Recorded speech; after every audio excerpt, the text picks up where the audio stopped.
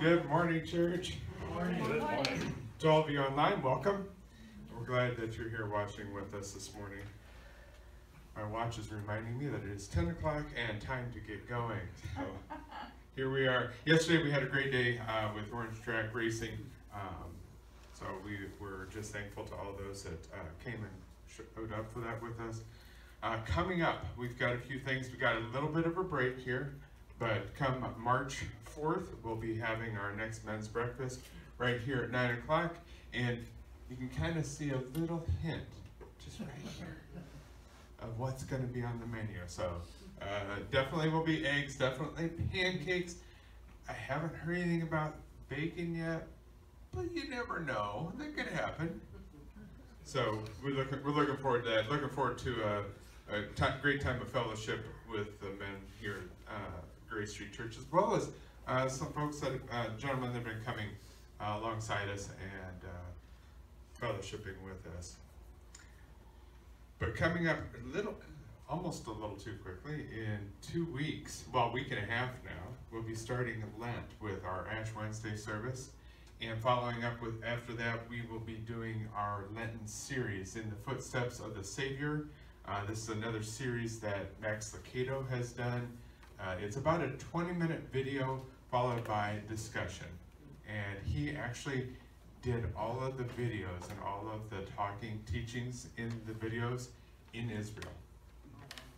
So it literally not just is it about being in the footsteps of the Savior, it is literally in the footsteps of the Savior. So we're looking forward to that as that leads up to Easter. I cannot believe that we are just about eight weeks from Easter. It seems like we just wrapped up Christmas and uh, wow, what a way to celebrate God. Um, Grace Street Cinema will be returning in March.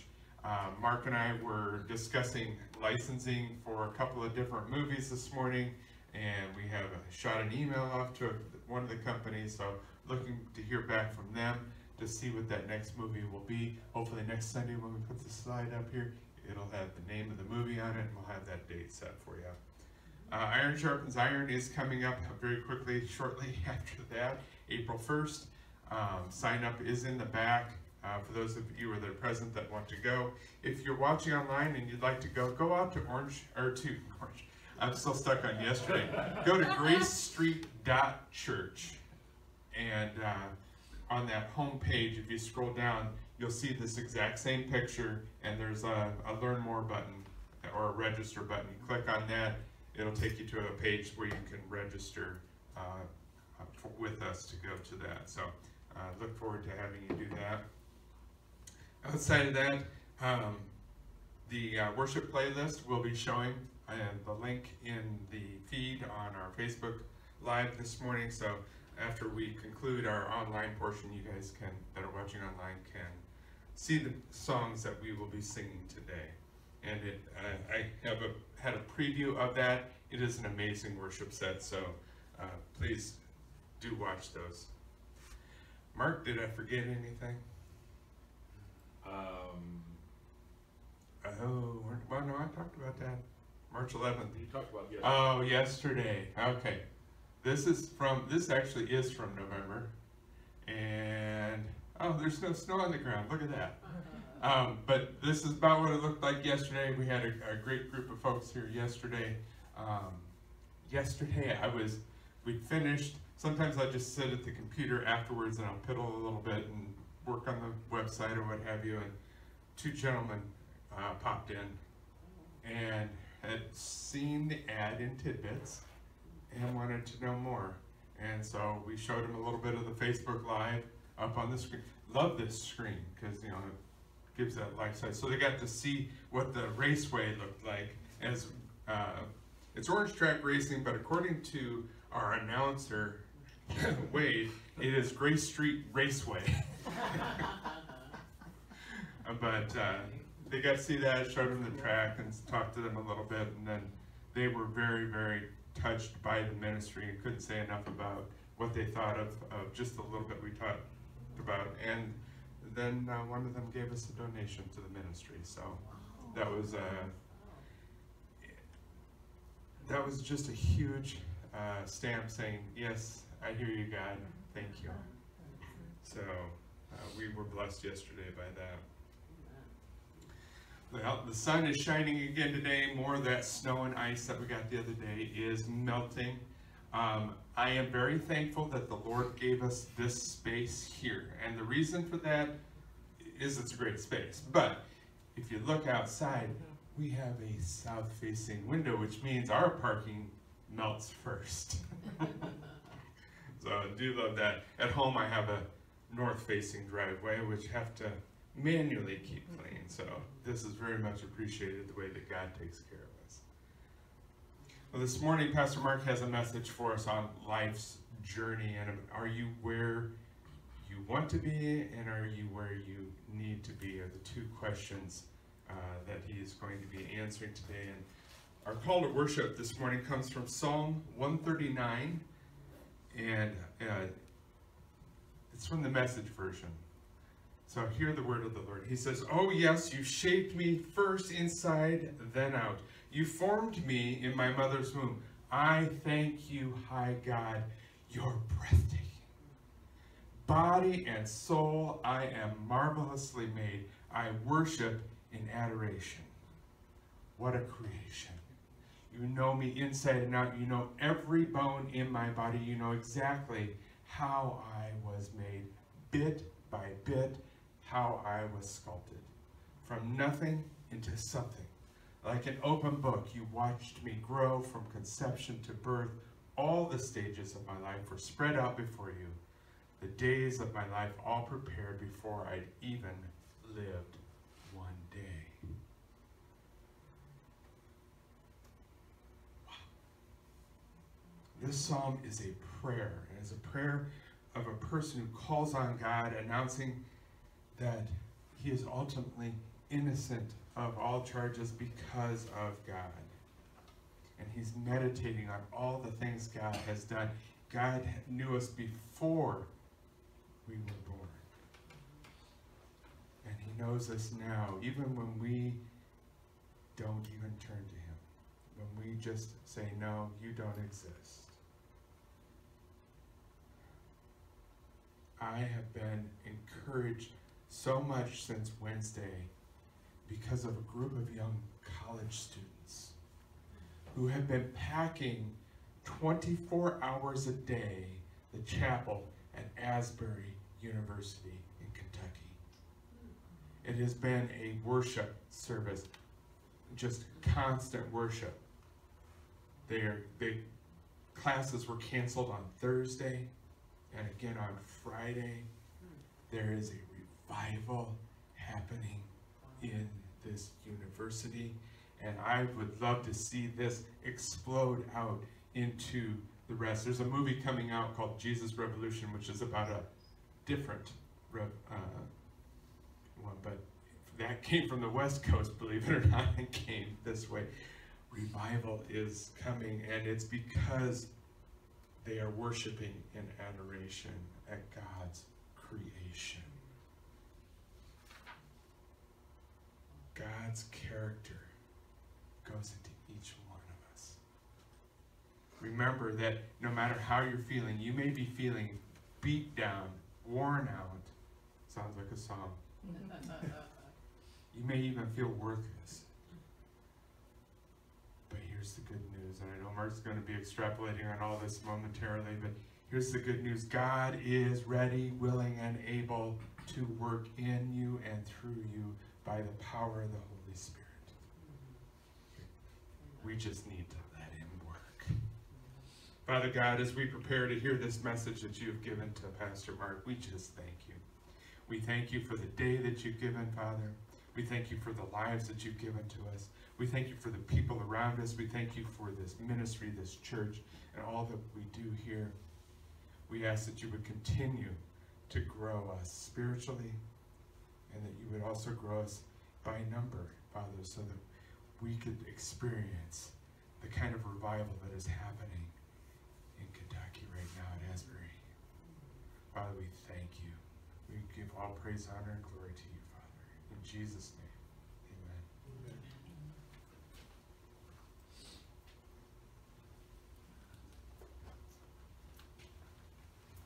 Thank you, Pastor Terry. Good morning, church. Morning. Morning. Is everybody up and alive and ready to go today? Yep. Yeah, yeah. Well, it is the day that the Lord has made. Let us rejoice and be glad in it. That speaks to me every time I get up to give a message. Because I know that in my soul, God has put me into this position to help bring life into His Word. And that's really truly what our jobs as pastors are, is to help bring that light, give us a relevant uh, relation to His Word that we can take with us out into the world that's attacking us all the time. And uh, so yesterday at Orange Track Racing, I'm, I'm kind of going to backtrack a little bit, but I did a devotion yesterday, as we always do, and it was, What am I worth to God? And so I talked about the SS uh, Gairsoppa is the name of the ship. And it set sail for, from West Africa to Liverpool, England back in 1941 during World War II. And it had a huge, huge load of silver on it. And sadly, that boat was bombed by a German U-boat and sunk into the ocean where it stayed until 2012 and a company called Odyssey Marine found it and recovered, or if you're ready for this, nearly 100 tons of silver, worth about $30 billion today, in today's money. See, that lost treasure was worth a great deal to the company and to the government, obviously, mm-hmm. and they spent a lot of time and money and resources trying to find that treasure because that treasure meant so much to them. But when I asked the question yesterday to, to everyone at Orange Track is, did you know that you are worth more to God than all of that silver, than that $30 billion worth of silver? You're worth more to God than any of that treasure. Jeremiah 1.5 says, God chose you before you were formed. God know, knew you. He wanted you before you even breathed your first breath of air. You don't have to earn your worth with God. You were chosen, loved, and valued by God before you even knew Him. Now, isn't that awesome? We really need to take these messages to heart. And, and one of the things that I posted up on the internet this week was, you know, uh, we always take for granted and, and we take everything as, as being uh, completely valid, those things that are posted up on the internet, right? So we, we tend to believe those things, or we believe a lot of them in there. But how come we don't take that same value and place it upon the Word of God? I mean, truly, He guides and directs our entire lives. Now, some people guide and direct their entire lives by what's written on the internet. But they tend to stumble through life. And so the question comes out, you know, because this is life's journey. Are you where you need to be in life? Are you going down the right path? Are you doing what God wants you to do to get to where He wants you to be? Those are some pretty deep questions. So then the one that follows up with that, are you where you want to be in life? Are you ready for this? Where you are in life is a result of the decisions that you made, the choices that you made in life. Got you where you are today. So I ask you again, are you where you need to be or where you want to be? So today we're going to talk about the facts of life. Okay, no, no, not the 70s TV show, but real life. A path that can lead to eternal life if you make the right choices along the way. So when we think about our journey in life, it's important to look for all the facts before we make that choice, that all important choice. And life is nothing more than a series of choices that we make. So we got to look at all the facts. We need to make sure that we are making an informed decision. So if we think back in our sermon series from last year, we talked all about making good decisions and through what we learned in that, good choices make for good lives. And that's absolutely true. Today we're going to look into what lies ahead on your journey and the consequences for each choice. I'm going to start off in John 14, 1 and 4, and it says, and this really is truly uh, in the Bible, it says, This is the way to the Father, a journey of life. That's exactly how it was written in my Bible, my study Bible. Jesus said, Your heart must not be troubled. Believe in God, believe also in me. In my Father's house there are many dwelling places, and if not, I would have told you. Now I am going away to prepare a place for you. And if I go away and prepare a place for you, I will come back and receive you to myself, so that where I am, you may be also. You know the way to where I am going. Now, how many times have we heard this throughout our lives in church? You know, did it make sense to you? I use this exact verse every time I do a funeral service for someone because life is a journey. And if we put our trust and our faith in Christ, and if we believe in the written word of God as being truth and fact, it can indeed get us to that place. If I go away and play, prepare a place for you, I will come back and receive you to myself. That's a promise that we should hold on to. That is a truth, that is a fact that he will come back and bring us into his presence. So that where I am, you may be also. He wants us to be there with him. So we need to trust him. We need to stand on that promise. We need to stand on that truth. You know the way to where I am going. And that's all written out in his word. We have the roadmap. You know, I travel a lot. I'm heading to Atlanta tomorrow. And so what I do is I program the whole thing into my GPS. And I let the GPS guide me to where I need to go. So we have a GPS. Carry it. Yours is sitting there right down in the chair. God positioning system. Okay, that's the Bible. So it's God positioning system. That's our GPS to get us to where we need to go. It's all in writing. It's written down. Very explicit set of instructions on how to get there. And if you don't follow it, where you're going to end up. And it may not be where you want to be. Well, in that translation in John, it comes from the Greek and it uses a firm, uh, form of the verb menios or traveler. So in there, John is saying, hey, we're all travelers in life. It's used this way 40 times in the book of John. And it's used this way to remind us that we are all on a journey. And for believers in Christ, he gives us a promise, a reassurance of what is at the end of our journey, and that we will be meeting again. All of us will be in together as believers. We're all going to be able to be together with Christ, with God, for eternity. Now, this is a common verse that's used for persons in their end of their journey of life.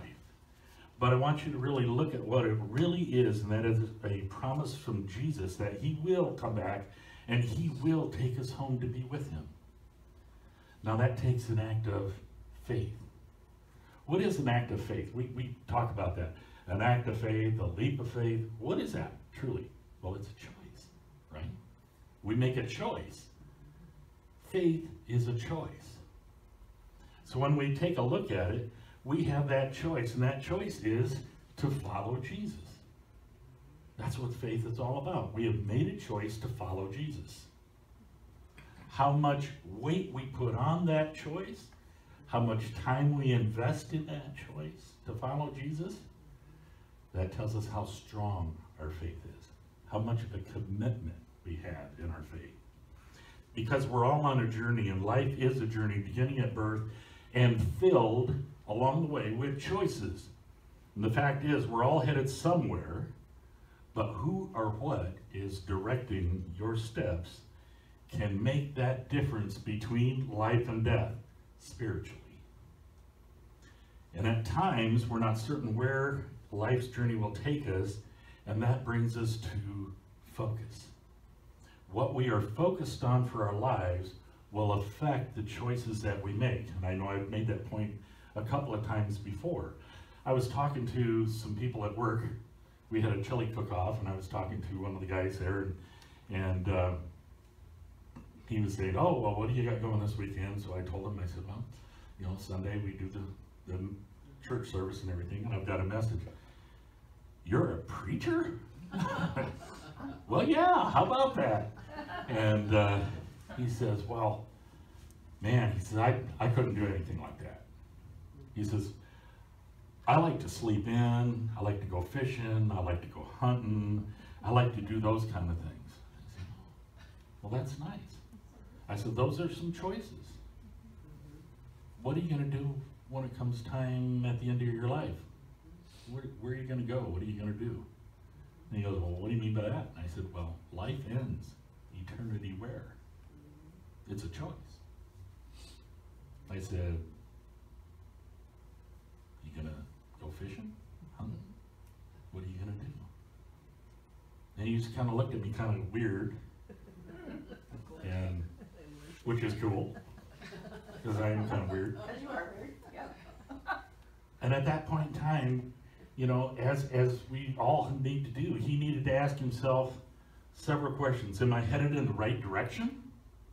Do I know where I'm going? Have I considered the consequences of my decisions? Have I arrived at my destination or do I need to continue on?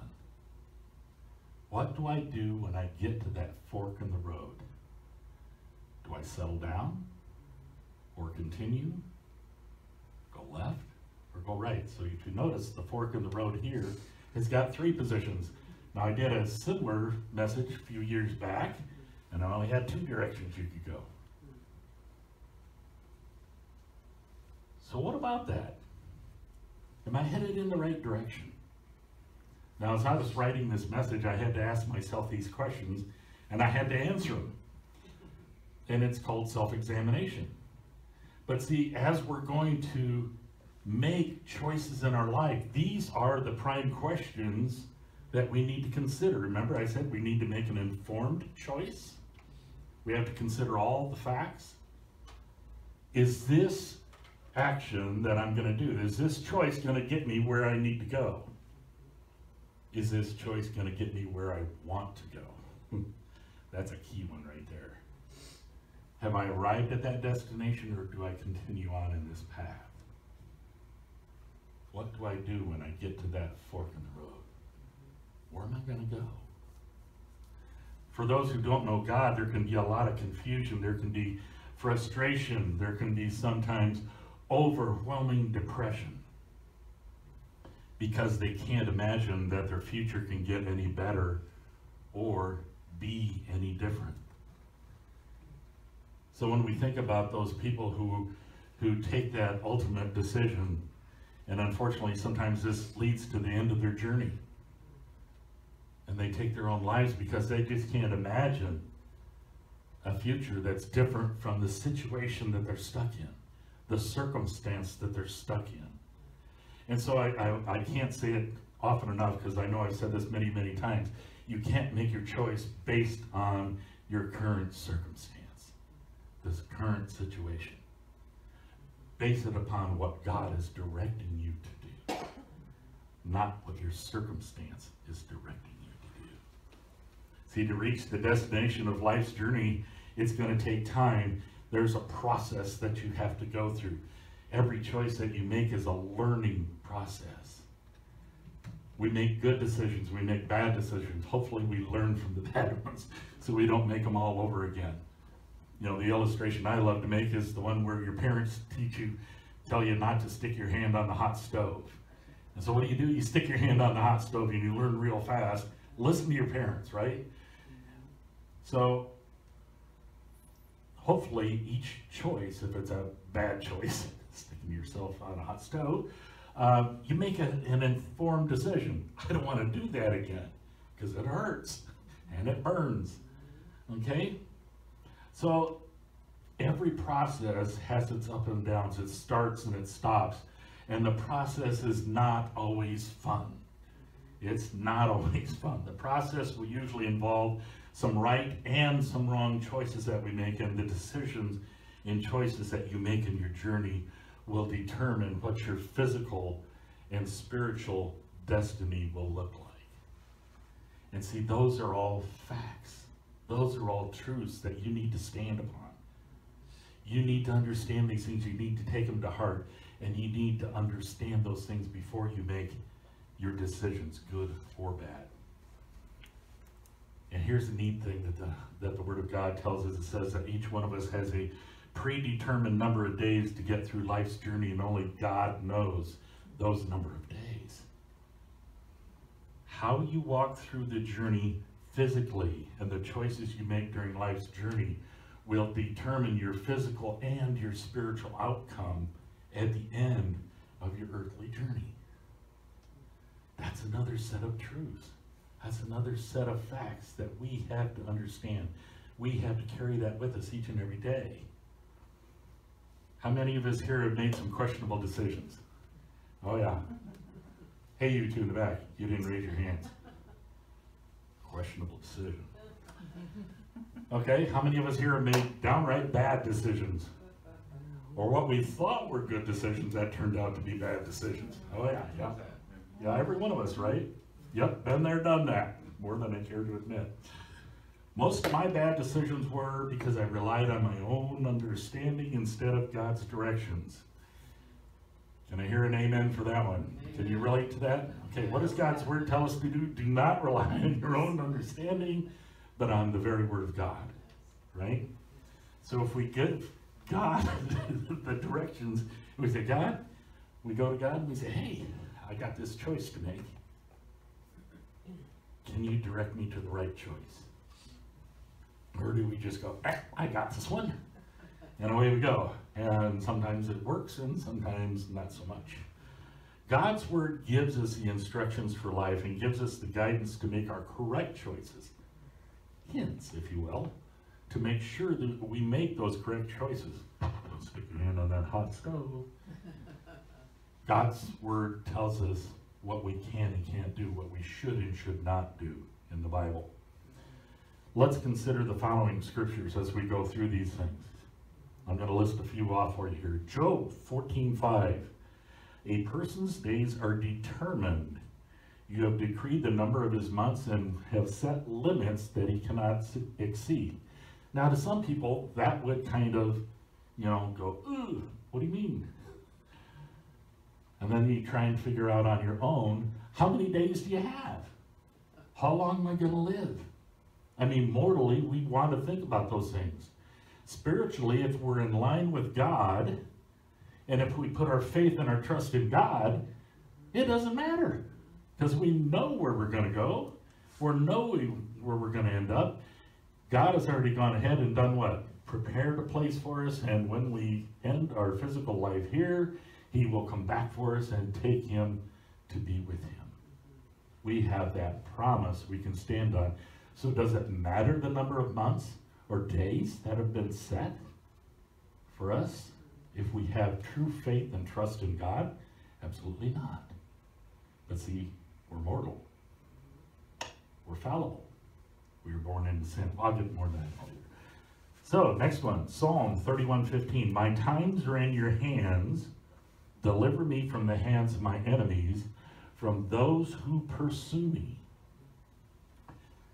So as we think about these verses in here, and we have some more in here, uh, I want to take us back to what our call to worship is. But I'm going to use a different translation. I actually looked at probably 15 different translations until I figured out the ones I wanted to have here today. So our call to worship was from Psalm 139, 14 through 16, and it says, and this one's from the New Living Translation, so it's a little bit different from what you heard earlier. And it says, Thank you for making me so wonderfully complex. Your workmanship is marvelous. How well I know it. You watched me as I was being formed in utter seclusion, as I was woven together in the dark of the womb. You saw me before I was born. Every day of my life was recorded in your book. Every moment was laid out before a single day had passed. Now you think about that. You think about a loving God who formed us, who knew us before we even took our very first breath. That's why I wanted to use both of these translations today, because it really speaks to what God wants for you and how much God cares for you. Remember what I said in the devotion in here? What was it? What am I worth to God? What does this tell you? What does this tell you? Matthew 6:27 says, "Can any one of you by worrying add a single hour to your life?" As a matter of fact, studies have shown it causes the opposite effect. Those people who worry too much, guess what? It overstresses the systems in the body and causes them to die at an earlier age. So get rid of that worry. Give it to God. Go to God first. Take the worry out of the equation. Jeremiah 29 11. I love this verse. One of my absolute favorites. For I know the plans I have for you, declares the Lord. Plans to prosper you, not to harm you. Plans to give you hope in a future. So if we think about this whole set of verses that we just went through, of these promises of God, that's what these are. These are promises and truths for God, for us to take in and help direct our lives. He wants you to know what you are worth to Him. What you are worth to Him. More than any gold or silver is what the scriptures tell us. More than any of the treasures that you could bring to yourself on earth, you are worth more than any of those things. See, and if you don't believe in God, these, these verses are simply empty platitudes if you choose not to believe in God. They mean nothing. They're just words on a page. The verses mean nothing if you can't acknowledge God as the creator of the universe. Now, we saw through our study of the Truth Project, you in this universe did not happen by chance.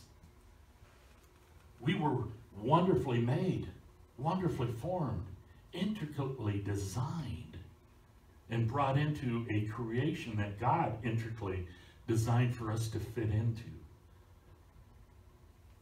Think about that. What do you work to God? In my last sermon, I talked about all the things that we were wonderfully created in. Do you remember that? And all the things that are unique to us as a person in God's creation. Those gifts that He gave us. You in this universe did not happen by chance. You were formed and created with God with intelligent design, with purpose and function. God made you special.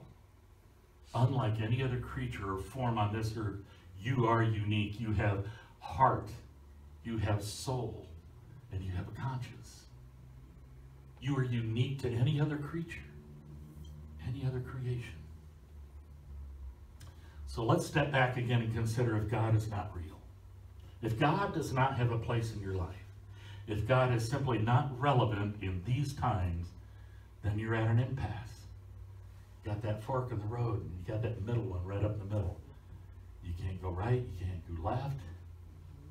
You're at an impasse, right? So what happens then? You're at that proverbial fork in the road, and you have a very important choice to make. You can either choose the world, and depending on the world to get you through life, or choose God and allow God to work in your life. And remember, when you get to that fork of the road, you have a choice to make that will have eternal consequences, good or bad.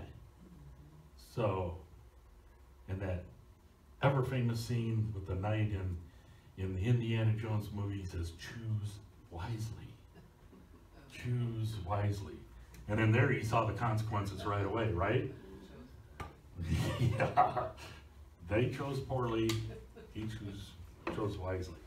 So one thought to, to consider then, these verses that we just read will either haunt you at the end of life's journey mm-hmm. if you think they're untrue, irrelevant, passe, they don't make a difference in your life. What if you're wrong? What if you're wrong? See, once you die, it's too late. It's too late then. Once you're gone, it's all over but the crying, the regret. And oh yeah, don't forget about the heat. So John gives us a glimpse of what it would be like. Revelation 21, 8 says, But for the cowardly and the unbelieving, the abominable, and the murderers and immoral persons, the sorcerers, idolaters, and all the liars, their part will be in the lake that burns with fire and brimstone, which is the second death. See, they're gonna they are going to die a physical death. Everyone will die a physical death. Life ends. Eternity where? John is trying to tell us, unless you want to be grouped in with these guys in here, the, un, the cowardly, the unbelieving, the abominable. Did you hear that? The cowardly, those who won't make a commitment to God, the cowardly, the unbelievers, those who say God isn't relevant for their lives, they're the same as the murderers, the immoral persons. I wouldn't care to spend eternity with the likes of those. I'd rather go to where Jesus has prepared a place for me and go to spend eternity with him. I want to ask another question. Why is it so easy to believe those things off the internet that are not true? And yet we find it so hard to follow the Word of God when we, when we see it, hear it, or read it. Why can't we accept the facts of the truth that only God is and always will be in control of your life? And the facts are the facts. So it's time, we got to face those facts. You had no say when you started this life's journey. You had no idea what to do about your future in the early days, weeks, or months after you were born. None whatsoever. You have very little control over when life's journey will end. And the reason I say you have very little control is, remember I talked about those people who have no hope, who are so depressed, who see no future for them, or a difference in their future, and they end up taking their lives. They do have some control over when they will die, unfortunately. They didn't know the truth of God. You are loved by God, and He knows your name. You can have faith, joy, hope, and a future when you choose God. You have been given free choice from the moment you were conceived in your mother's womb. And yes, God had a plan for your life before you were born. Or I love the translation that it, that it used there in John, before you breathed your very first breath of fresh air. God had a choice. He had a plan for you. He gave us free choice. He says, do you want to accept my truth? Do you want to accept me as your Lord and Savior? And if you do, I am going to prepare a place for you and I'm going to bring you home with me. See, facts are facts. We've got to, we got to go after those truths. We need to want, understand one prime principle here. But in the meantime, we were born into sin. We were separated from God. And until we accept that gift of salvation from Jesus, we will remain separated from God. We will be lost and wandering. Last week at the men's breakfast that we had, Bill, uh, Carlos' husband, offered up that he read that God is there walking alongside us in our life, journeying through the good and the bad, and he's holding out his hand for us to take. But it's not until we ask God to save us that he takes our hand, and through the power of the Holy Spirit, that once invited into our life, God will actually work in our life. We have to invite him in, and I've said that many, many, many times before. The reason I do is because it's very important for us to understand that principle. We have to ask God into our lives. Yes, he's been there from before we were born. Before we took our first breath, he had a plan for us. But he also said, you have free will choice. When you get to that road, you can either choose me or you can choose these clouds of lightning, or you can sit there in the middle of the road and do nothing. Be a coward and not commit and not decide. He gives us that choice. You see, that free will choice means that he gave us, means we have to choose God in order to enter into a relationship with God. Joined together. We have to be in, I love this word, communion with God. Communion with God. That act of salvation is our path to eternal life, and no one, infant through adulthood, can even and add an hour into their life under their own power because our lives are in God's hands. God knows the number of the days that He has planned for your life. And you may think that you have control of your future, but all of your plans can be cut short by one unforeseen event. Cut short. In Luke, we find an example of a man who planned for his future, but not leave room for God in the process. Remember, a couple, well, for those of you who are here, I stretched the timeline, a piece of tape across all the way over here. And it represented the timeline of our lives. And it, and it showed how much time we give to God. And after we took all of this stuff that we do all the time, we had this little minuscule dot over here that we give to God. See, this man in Luke, he lived only and considered life's physical journey. And I know so many people, I, I had a partner in business that lived his life that way. And he only considered his physical journey, amassing stuff. He was so ingrown, engraced into the world and what the world wants and what the world needs that he lived his life to earn nothing but more fame, more fortune, more money. But see, in the process, then they realize there's nothing more to life than that physical. And he passed away a year ago. And he didn't get to take any of it with him. Nothing. It was all for nothing. And the problem is he didn't take time for God. And he didn't know God before he went. See, when you die, it's too late then. It's all over but the crying, the grit, the gnashing of the teeth, as it says. Luke 12, 18 through 21 says, Then he said, This is what I'll do. I'll tear down my barns and build bigger ones. And there I'll store my surplus grain, and I'll say to myself, You have plenty of grain laid up for many years. Take life easy, eat, drink, and be merry. But God said to him, You fool, this very night your life will be demanded of you. Then who will get what you have prepared for yourself?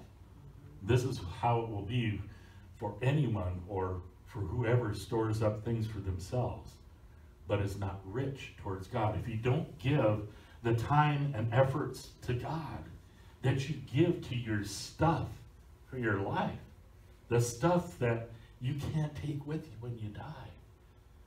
But guess what? You can take God with you when you die. So, where should you be putting your time and energy? In the stuff of the world or in God and have a future in eternity? Every person is on a physical and spiritual journey, even if they choose not to acknowledge or believe it to be true. Your life can change without warning. A grave illness, a virus pandemic, job loss, a storm, an accident of some kind can change your life in an instant. And sometimes you don't die at that point in time. But God makes a change in you that will change the direction of your life. It's happened to me several times. Trust me, I know. It changed my path. It changed. I've, I've experienced these life-altering events. Sometimes they come in the form of a wake-up call from God, and your path that you were on is now nothing more than a dead end. A dead end. You need to know that the path you are on, that you start out, may not be the path that you follow for all of your life. That's true. Your path will change. The path you start on on may not be the path you want to end up on. And again, we go back to that question, are you where you need to be? Are you where you want to be? Do you want to end up with God? What I want you to think about today may not be what you come to know to be true for tomorrow. For example, studying in one profession yet serving and working in another. That's me. Been there, done that. Uh, the life you live today may not have been your first choice. Life's journey is filled with life choice, and your life will look like the choices you make. I have to drag that point home. Depending upon the choice, you may experience joy or pain, or hopes or disappointments, or faith or fear. And if you remember back to my previous sermon about wondering, laying in that field and wondering up at the clouds, or going through the store and just kind of wandering around aimlessly. The life you live today will choose, will change for the better or the worse, depending upon the choices you make. Sometimes, when it's necessary, God will nudge you into making a change. Perhaps nudge may not quite describe it. Let's just say he will make it very clear to you you need to change your life. And then get ready. so the important note here is that his plan for you for life may not may not completely align with your personal desires that you have and that you have held on to for years. Ouch. So as I was writing this, I was writing this to myself as, as much as to you guys.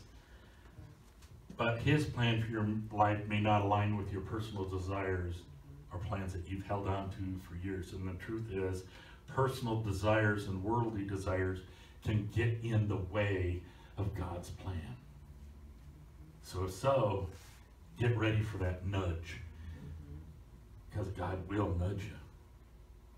You have to make the choice then, at that point in time, to listen to God and his call and his nudge. I have another question for you today. I'm asking all kinds of questions. Have you acknowledged your wrong choices? Oh, yeah. We need to acknowledge the wrong choices and decide to believe, to step out in faith and trust in God. Hand on the stove. Bad choice. Acknowledge the bad choice, learn for it, move on. We have to admit and learn from our wrong choices and decide to journey towards the blessings, the promise of God. And see, that's a huge step of faith. That's a choice that we have to make. Because it will determine our lives. It will determine your future. You only have one life journey. So in that life journey I'm telling you today, say yes to Jesus. Do not think you have time to decide another day. We learned what that looks like. Decide today that your life journey will end with enjoying those promises of God that he tells us in John that he's going to prepare that place for us and he will come back and he will take us unto himself and there we will spend eternity with him let us pray thank you god for this day thank you gracious heavenly father that you make all things new thank you for the victory and power in your name thank you that you hold the keys over death and that by your might Jesus was raised from the grave, paving the way for us to have new life with you. If we say, I will. Thank you that you had a plan for us and that you made a way for us to join you in eternity. And we confess today our need for you to refresh us and to make us new again in your faith, in your promises. We ask that you would renew our hearts and our minds and our lives for the days ahead, for the rest of our life journey. We pray for your redemption for us. Keep your words of truth, your promises planted firm within us and help us to keep focused on what is right and what is pure and give us the power to be obedient to your word. Lord, we just ask you today that you would be our defense and our guard, keeping our way clear and removing those obstacles that would keep us from you, those things of the world that would come in and distract us from you and your plan for our lives. And we ask that you would cover up those pitfalls. Take the power away from the evil one, and Lord, just rain your power, your Holy Spirit within us. Maybe we make a difference in this world for your glory and for your purposes. Set your way before us. May all your plans for life succeed. May we reflect your peace and your hope to a world that so desperately needs your presence and your healing today. Thanks be to you, God, for your indescribable gift of redemption, of salvation through your Son Jesus. To be, to you be the glory and honor on this day and forevermore. In Jesus' name. Amen.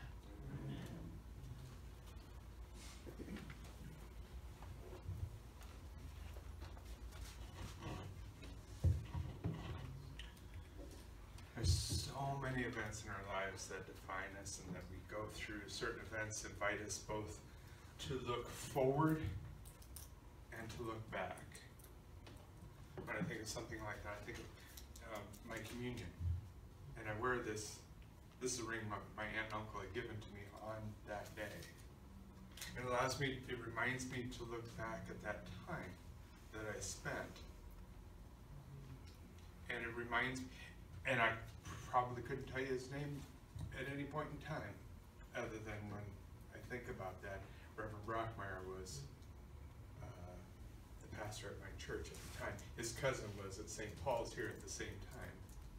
Uh, And so there's a conne- some, this weird connection that I have to Cedar Rapids. But it, it, that happens with graduations, it also happens with weddings. And, and as we look forward and we look back, we consider the significance of our lives and are we where we want to be? But are we where we need to be? As we take communion this morning, it is a wonderful opportunity to ask those questions again. Are we where we want to be? But more importantly, are we where we need to be? On the night that Jesus was betrayed, he took bread and he broke it, saying, This is my body broken for you. Take and eat.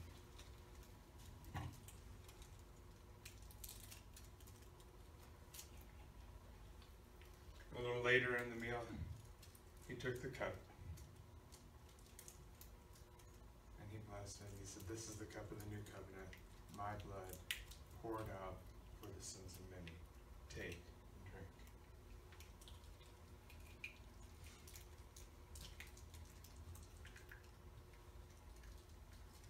Scriptures say, For as often as you eat this bread and drink this cup, you proclaim the Lord's death until he comes again. This is an opportunity to worship. It's an opportunity to reflect. It reminds us of the fact that we are sinners, but that we are redeemed by Jesus' act on the cross. The body of Christ broken for you. Take and eat. And the blood of Christ shed for you. Take and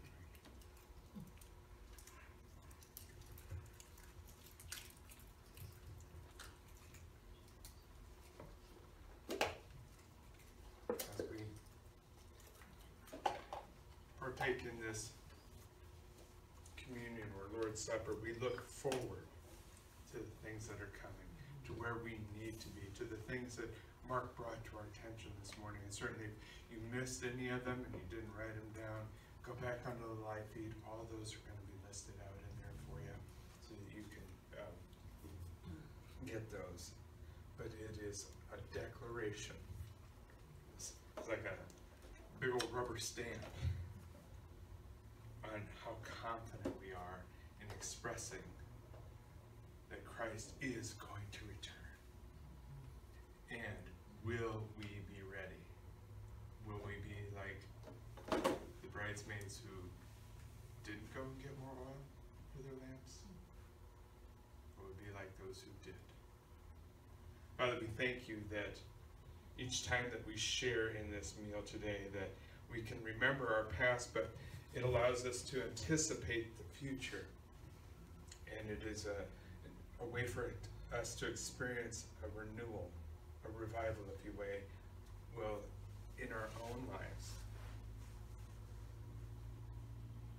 What you did for us is not just some story, Father. It is fact that your Son died on the cross for us, and that it has a an immeasurable impact on our lives. Until Jesus returns, Father, we have a living hope through you, our living Lord. Paul wrote to the Thessalonians about Jesus' second coming and observed that this hope will encourage us and build us up, Father. We thank you for that message.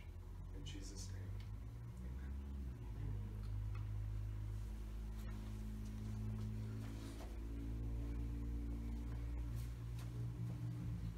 And good morning, everyone.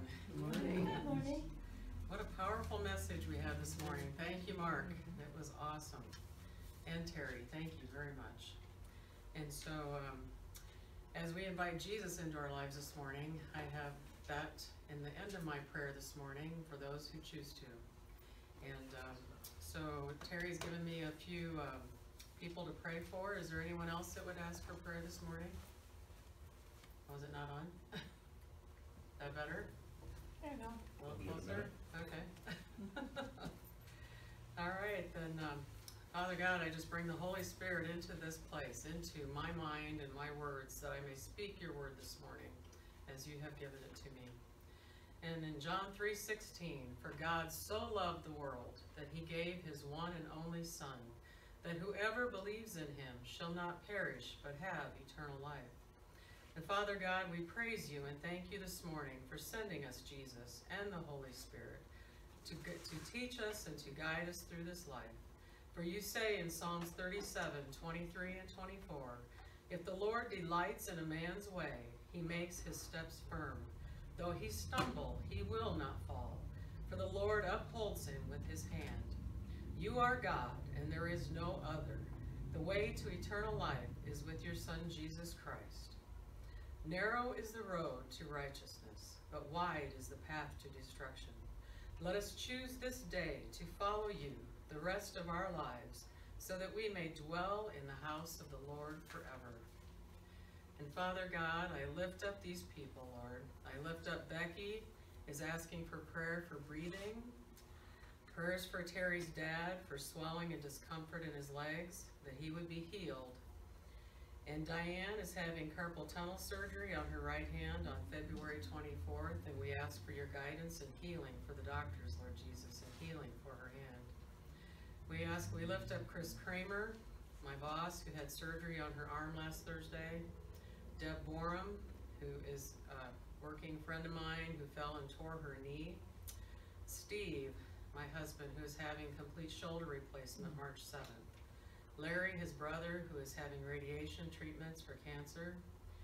Mark for healing for his lungs. And Sarah Sinclair, who is desperately needing your help and divine intervention today, Lord Jesus. Father, we thank you for their lives and we ask that you give them strength, comfort, and healing. Let the blood of Jesus wash over them and bring them peace that only you can give during the trials each one are facing. Let your will be done in their lives. Help them to know they do not walk alone. You are with us, Father God. You will never leave us or forsake us. In their time of desperation, help them to hear your still small voice calling through the darkest night that you are there with them, guiding them through this trial and sustaining them, holding on to them, Lord Jesus. You will never leave them. Thank you, Jesus, for your promises and your faithfulness to us. We give you all the glory for their healing. So, Jesus, you have given each of us a choice in this life to choose to follow you or not. I pray for those here and online who want to accept you into their lives, for we do not know what tomorrow brings. Let us be sure this day by accepting to follow you. So pray with me. Lord Jesus, I accept you today as my Lord and Savior. I believe you walked among us, you shed your blood on the cross to save us from our sins, and you rose three days later. You are the Son of God. Right now, this day, I receive total forgiveness of my sins. I receive restoration. I leave grief behind, sorrow behind, the pain behind, the shame behind and I receive a brand new life in Jesus Christ. I know the enemy will fight me, But Lord God, I receive your purity, your integrity, your tranquility, your peace, your sanity, your joy, your abundant life, your amazing grace. Lord, deliver us from evil, for thine is the kingdom and the power and the glory forever.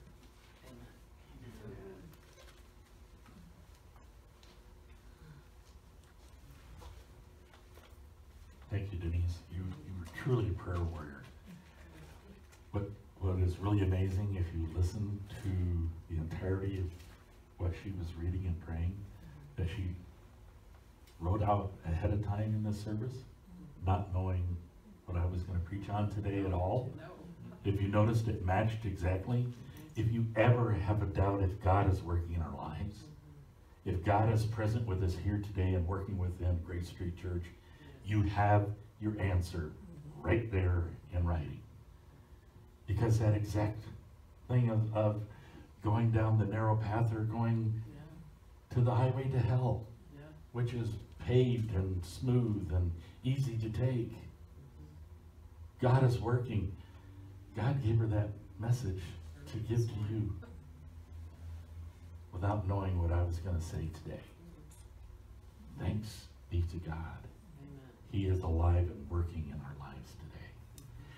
This brings us to the end of our online portion of our service today. We have a link that is up in our um, feed today, so you can check out the videos online. Please listen to those because they're every bit as much of the message today, the message in music as it was in word and spoken to you today. Let us go to God.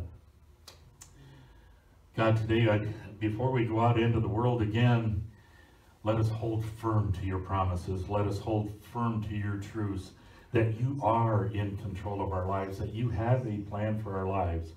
Lord, that you are alive and working in our lives today. You have affirmed that with us today by the prayers of the prayer warrior that we just heard.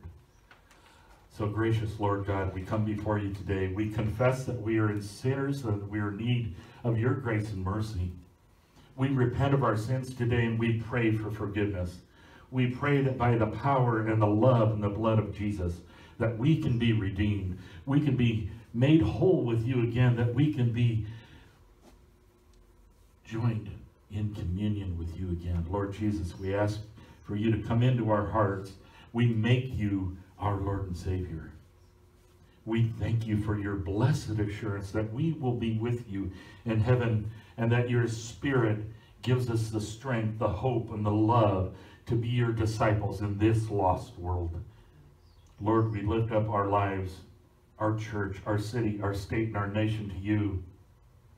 We pray that you would do a mighty act of healing in us and in the world today, and that your, your word and your name would be boldly proclaimed, and that your works would be done. Embolden us today to step up and step out, to bring home the loss and lead us to growth in your spirit. And keep us unto you in everything we say and everything that we do. In your precious and holy name we pray today. Amen.